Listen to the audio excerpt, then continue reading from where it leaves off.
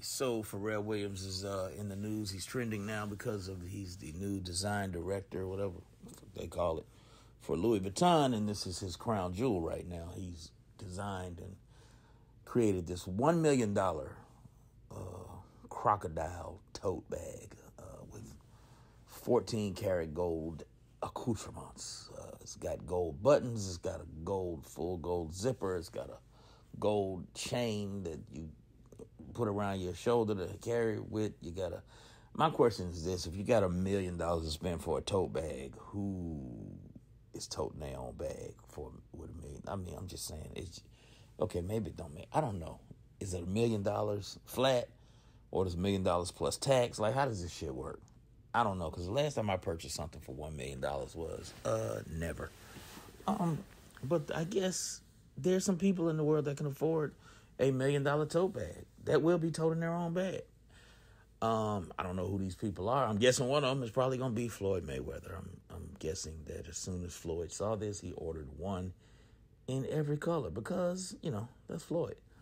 Um, and that's cool. Bigger question, the bigger problem I have here is Pharrell Williams. What's this look, bro? Like, what does this look like? Pharrell, what, what where's your daddy? Who raised you?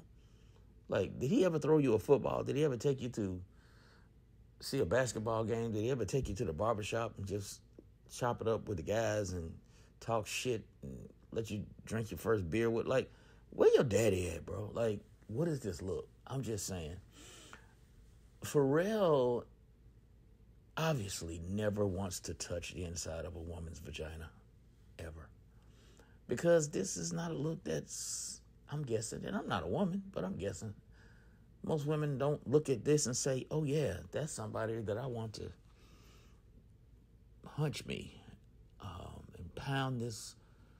That's somebody, as uh, the great lyricist Sexyy Red would say, that's somebody I want to take me to Pound Town. I'm guessing there's not a whole lot of females out there looking at this picture and saying that. Yeah, Pharrell, you're uh, you're a fucking weirdo. But uh, yeah, I know you're rich, you're successful, you're insanely talented, you're a prodigy, and all that good stuff. But god damn, man, where is your daddy? Oh, let me see if I can go get me a million dollars up so I can get one of these goddamn bags.